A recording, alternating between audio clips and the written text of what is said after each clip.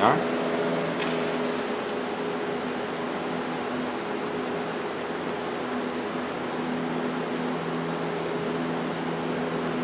I replaced, I, I think that the lines that go this way are two like cyber, robot, cyborg type thing. So I'm trying to avoid that. Uh-huh. And I like the idea of the bolt, so I added those in more. Yeah. You know, just little mechanical lines. But Yeah. I'm kind of avoiding the steel look of it. Yeah. I think that it would look a little bit more.